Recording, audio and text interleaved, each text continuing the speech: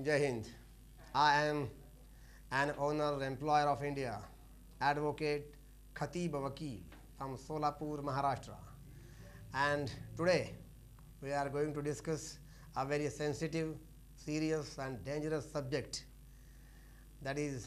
mob lynching in our India.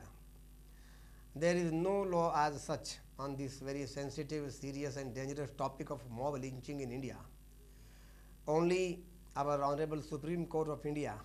has laid down law on the topic of mob lynching in India.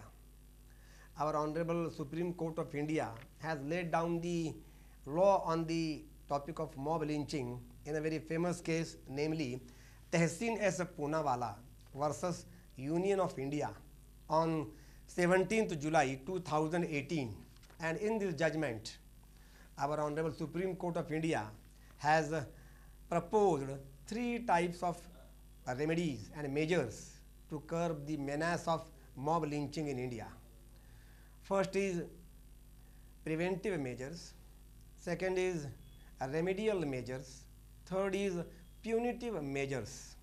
In this video, we are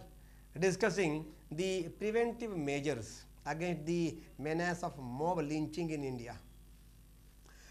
The first preventive measure proposed by the Honorable Supreme Court of India against the mob lynching is that the state governments shall designate a senior police officer not below the rank of superintendent of police as a nodal officer in each district. And such nodal officer shall be assisted by one of the DSP rank officers in the district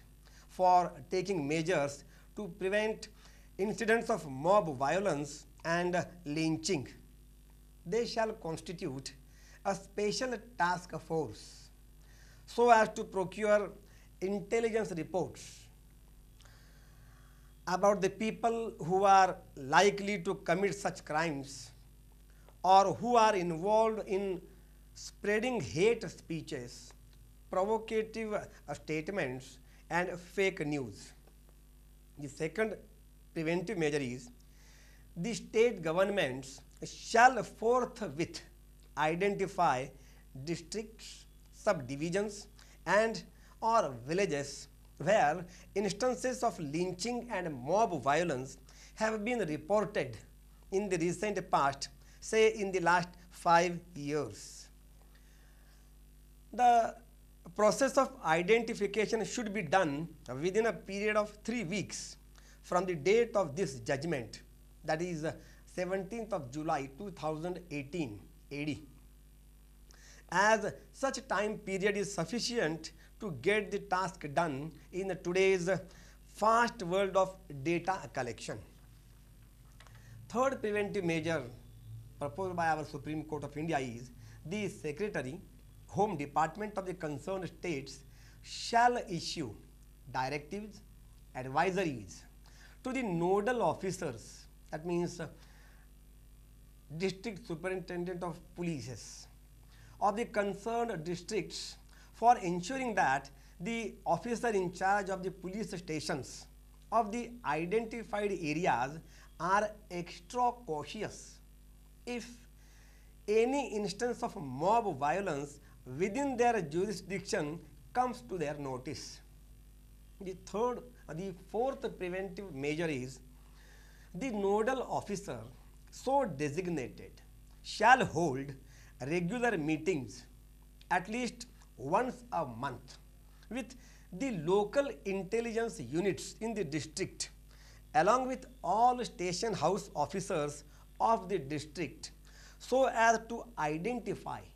the existence of the tendencies of vigilantism,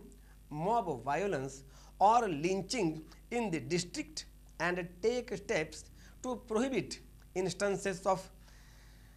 dissemination of offensive material through different social media platforms or any other means for inciting such tendencies.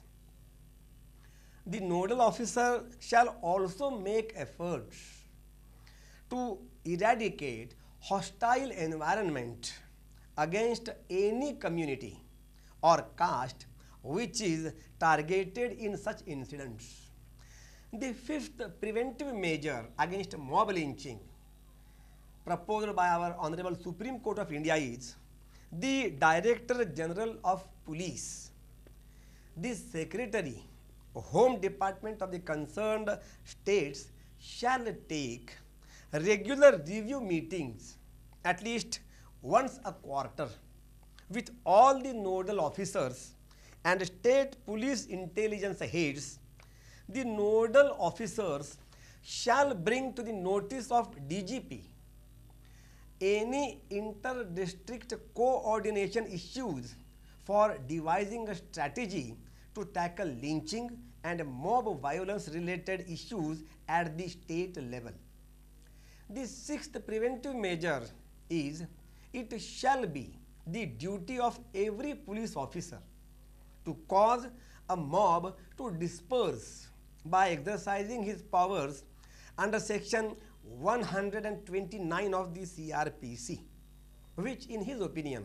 has a tendency to cause violence or wreak the havoc of lynching in the disguise of vigilantism or otherwise. The seventh preventive measure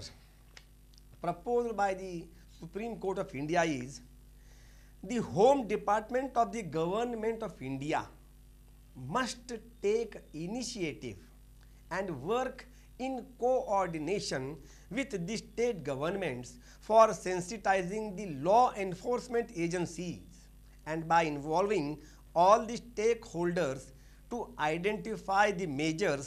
for prevention of mob violence and lynching against any caste or community and to implement the constitutional goal of social justice and the rule of law. the eighth preventive measure against mob lynching and violence proposed by the Supreme Court of India is the Director General of Police shall issue a circular to the superintendents of police with regard to police patrolling in the sensitive areas keeping in view the incidents of the past and the intelligence obtained by the office of the Director General, it singularly means that there should be seriousness in patrolling so that the antisocial elements involved in such crimes are discouraged and remain within the boundaries of law, thus fearing to even think of taking the law into their own hands. The ninth preventive measure is the central and the state governments should broadcast on radio and television and other media platforms, including the official websites of the Home Department and police of the states that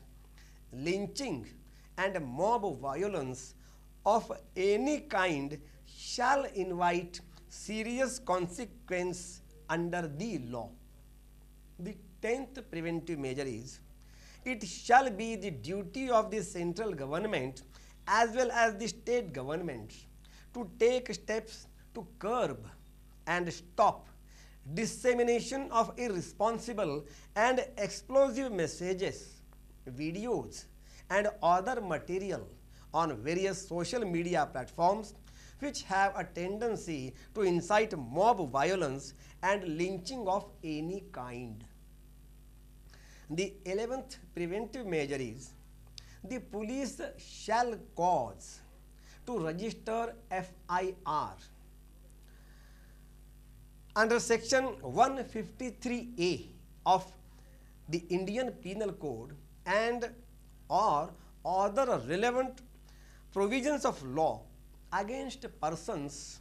who disseminate irresponsible and explosive messages and videos having content which is likely to incite mob violence and lynching of any kind.